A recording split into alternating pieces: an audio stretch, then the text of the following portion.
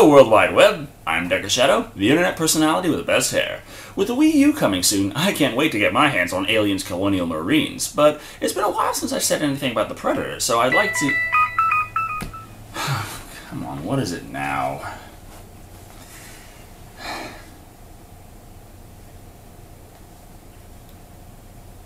Hey Decker, when are you going to review Twilight? Can't wait. Twilight? Why the hell would I review Twilight? I think it's well established by now that I generally deal with science fiction, action, and horror, and while Twilight might fall under horror, it's still not the style of film I usually cover, but if you want vampires that badly, fine, I've got a film for you. Released straight to DVD in June 2005, four months prior to the first Twilight novel hitting the shelves, Charles Band produced his own take on vampires in a more modern setting, along with an interspecies love story and an age-old conflict. Was it a classic for the ages? It's Charles Band, of course not! But it is an interesting piece of movie history for those who say that absolutely no vampire films were coming out at that time frame before Twilight hit the scene. Nevertheless, let's tear into our victim's flesh and see what it tastes like. As this movie opens, we are immediately treated to flashbacks of an entirely different movie. Once upon a time, there was a master vampire named Ash. Hmm? This Ash evidently rules over a clan in Europe that consists entirely of people with American accents. His name is Monsieur Ash. He's a wealthy patron of the arts. A bit eccentric, perhaps? At this point, I should mention that Decadent Evil is a spin off of the 1997 film Vampire Journals, which itself was a spin off of the movie series Subspecies. For those who want the whole history, here it is. The first film in the series, Subspecies, was a direct to video movie from Charles Band's Full Moon Studios in 1991. Two years later, Bloodstone, Subspecies 2, would be released, and then Bloodlust, Subspecies 3, the following year. Then in 1997, the spin off movie Vampire Journals was made, which follows the vampire Ash kind of like having a man named Corpse. But anyway, the year after that, the Subspecies series would continue on its own with Subspecies 4 Bloodstorm. Seven years after this run of straight to video vampire flicks, Charles Band's renamed studio, Wizard Entertainment, would revive the series in a spin off of the spin off, which is what we have here, Decadent Evil, in 2005. As this introduction points out, this movie follows the events around the vampire Morella, whom left Ash's clan in Europe going to America. Did you get all that? Good! Just so you know, having the inside scoop on this movie's long, sordid backstory makes absolutely no difference. It's a generic vamp flick. The only connection it has to the previous films is this very out-of-place intro. Whoop-de-doo! So, after this unnecessary three-minute introduction, and a further three-minute credit sequence composed of the cheapest effects available, we finally get to the actual movie, as we see a couple head into a strip club at night.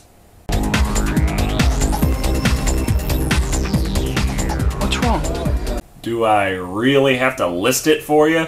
I don't know. No, no, no, come on, come on, no. You promised. Don't chicken out on me now. I know. Uh, just how smooth of a talker is this guy supposed to be? I, I'm sorry, I find this to be a particularly hard sell.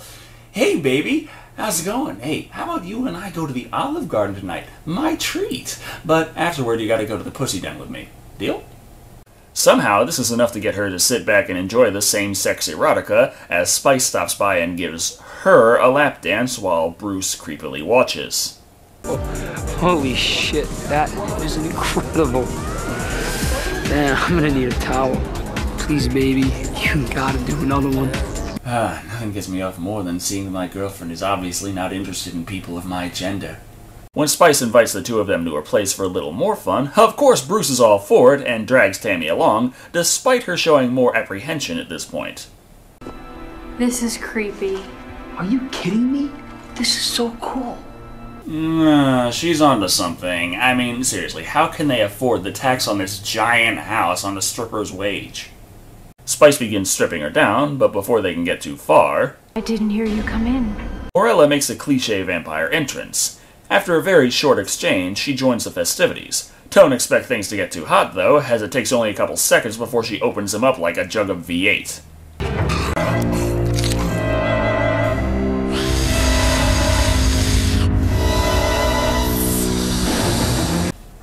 If you're gonna edit in fake hissing, at least have the hissing worth using post-production to accomplish.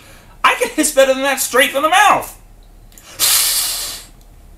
But while they're feasting, the blonde hors d'oeuvre runs off, but fortunately for them, can't figure out how to unlock a door and comes to a stop when she discovers something.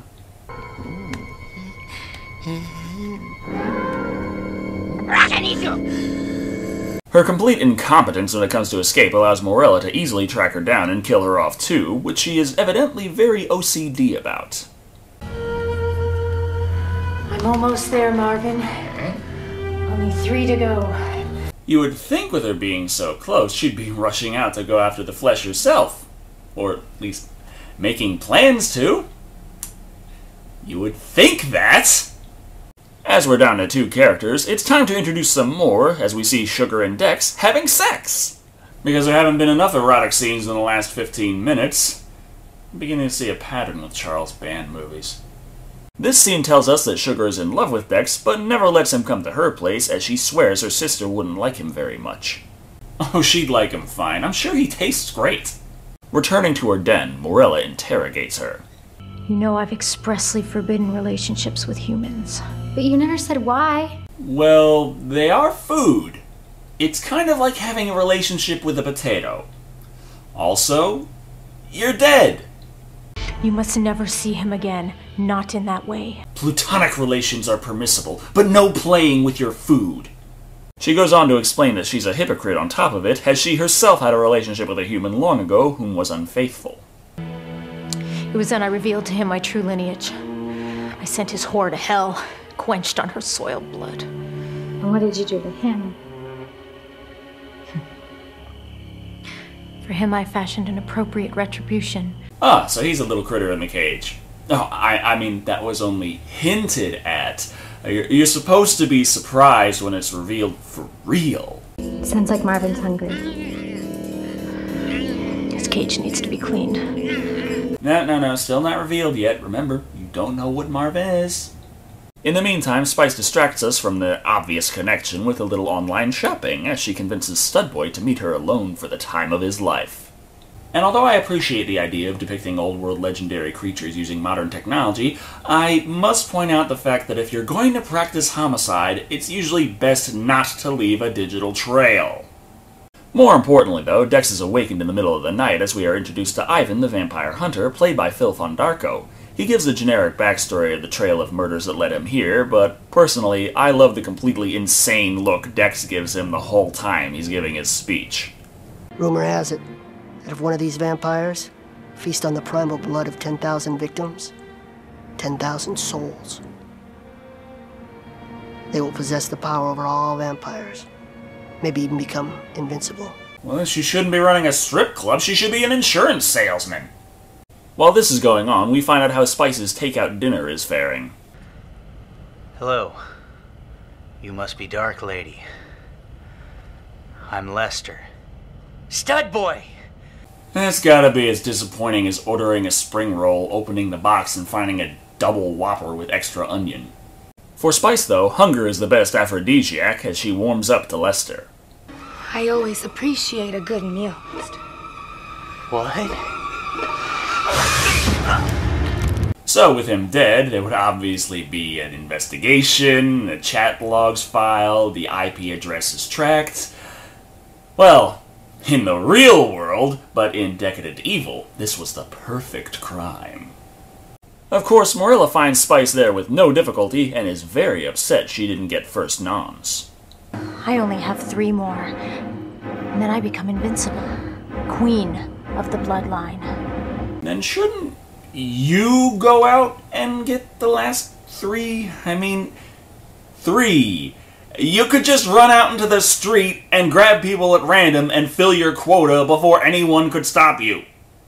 But instead of that, she orders Spice to go out and hunt her down a fresh body. After all, those last few steps are so much more rewarding when you don't do a fucking thing to accomplish them.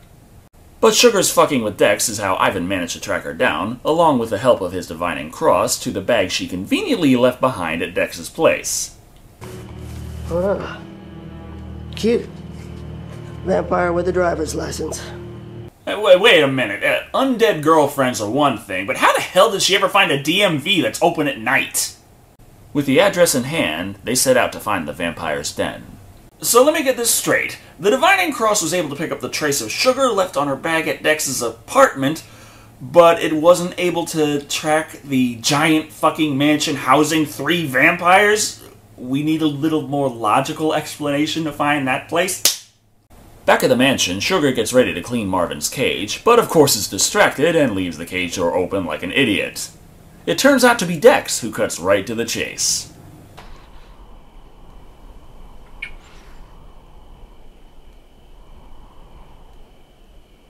So it is true. So the whole time he's known her, he's been staring at her ass, not her smile. She tells him she'd never hurt him and forces him out before Morella arrives, which allows him to confirm the situation to Ivan. Satisfied? I can't believe she's really one of them. Get over it, kid. Find yourself a nice girl who doesn't mind the sunlight. Screw that, get yourself a gamer girl, someone who isn't afraid of the commitment required to hit max level. Ivan prepares to head in and kill them off, but Dex refuses to allow him to slay his girlfriend, so they find a compromise. But you can't go in like that. They can smell a mortal a mile away. Peace Jesus. I thought vampires hated garlic. They do. But this bloodline can't smell it. It'll mask your scent. Uh, their amazing sense of smell can't smell garlic. Garlic powder. You know, there's modernization and then there's just stupid. They head in and Dex tracks down Sugar immediately, but before we can get anywhere with that, Spice comes home with Nameless Hooker. So you brought a guest? How nice. I see how this is. You two are into the kinky shit. It's gonna be an extra 40 bucks. But by the looks of this place, I think you can afford it. I've seen actual porno movies with better acting than that. They chain her up and leave her in bed for a while. Well, is this the kind of meal that tastes better after you let it sit? Huh, no, they just had to leave her there long enough for us to see Marvin creep up on her, but get scooped up and recaged in short order, making that little event completely pointless. Unless we really needed to establish the critter is horny. I mean, come on, it's a Charles Band movie. Of course it is! Now that that's taken care of, she has no problem feasting on the woman immediately, but Spice finds out that Sugar has been packing to leave and decides to throw her under the supernatural bus. Someone's planning on a little trip. My dear, I'm so disappointed in you. Did you dare bring him in here after I expressly forbade it? Ah, uh, you forbade her giving him some undead head. You didn't say anything about him not coming over. She heads off to hunt him down while Spice enjoys a schadenfreude. How's it feel to be the bad one for once in your life?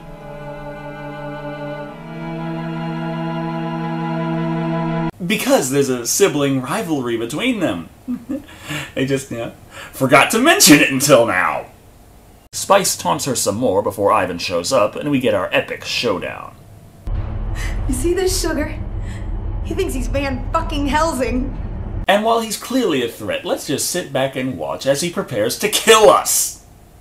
Spice disarms Ivan, but postures long enough that he's able to easily rearm himself and give her one seriously nasty splinter.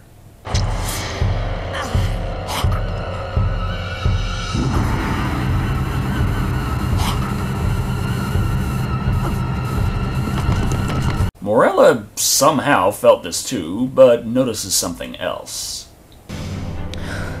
Fee, fi, fo, fum. What? I smell the blood of a human. Okay, I guess we can pinpoint this part of the script where the writers clearly stopped giving a fuck. But anyway, Sugar goes on to examine Spice, who it appears has turned into a pile of potting soil. Seriously, first with the garlic powder, and now you can't even get some actual ash? Sorry, it doesn't work like that. Well, why the fuck not? As Dex is still missing in action, Ivan goes ahead to kill Sugar while he's at it, but suddenly.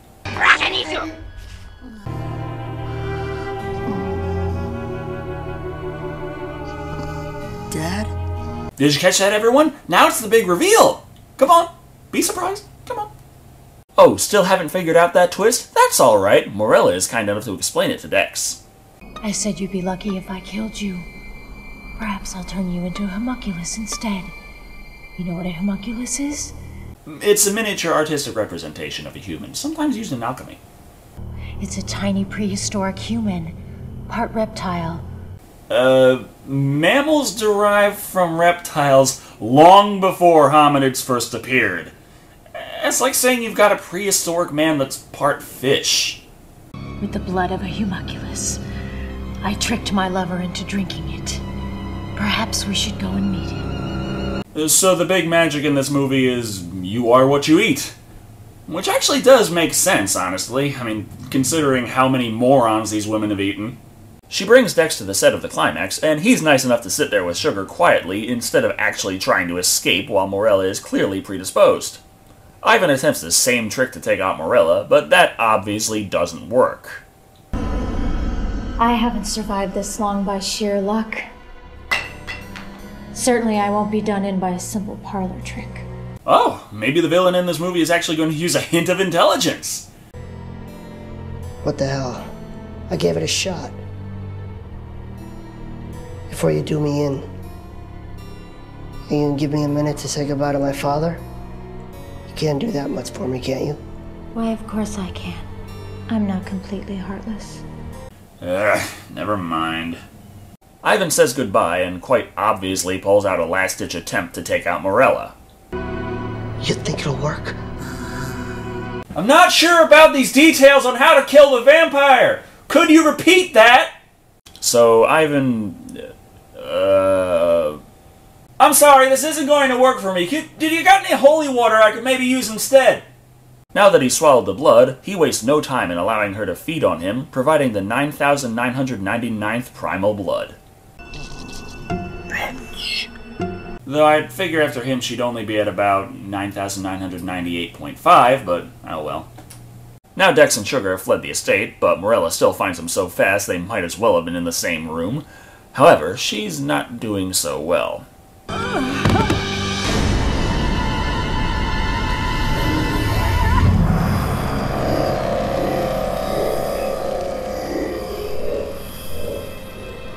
Is she dead?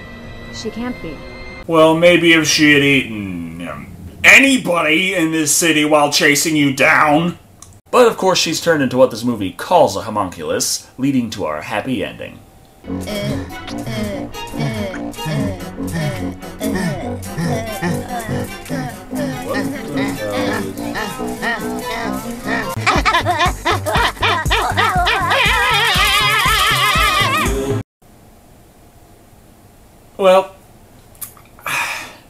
that was. I don't even know what the hell that was. This movie's set up as your basic vamp flick with little exception. There's nothing too special to say about the story, but the execution is of note, but in quite a negative way. The way this movie starts out has promise and isn't done too bad from a base entertainment standpoint, but as it goes on, it seems to spiral lower and lower, and from the opening to the ending, it somehow gets less and less exciting. The acting is stiff and emotionless. I get it that Morella was supposed to be cold, but when she's making decisions based on gut reactions, she could at least show a little feeling. Phil Fondacaro doesn't do a bad job, but he doesn't pull off a grand performance either. Like most of the actors, he's just kind of there. In fact, I think the best acting in this movie came from John Schaefer as Studboy, which doesn't sing the highest praises for this film. The sets are very limited, and the lighting is so dark the few different locations all end up looking very similar anyway, and at only an hour long, this movie still was hard to make it all the way through. It's a kind of movie I guess you could put in the background while having some drinks with your friends. Entertaining enough while you're still sober, and by the time it gets boring, you'll be too buzzed to care, giving Decadent Evil two fucking puppets out of five. Oh, and there's a sequel! As far as my research tells me, Decadent Evil 2 is the last in the subspecies phylogeny. Though, there is good news. I don't own it! Thank God. Thank you all for watching. I've been Decker Shado. And remember, Twilight's a romance novel. I don't do that.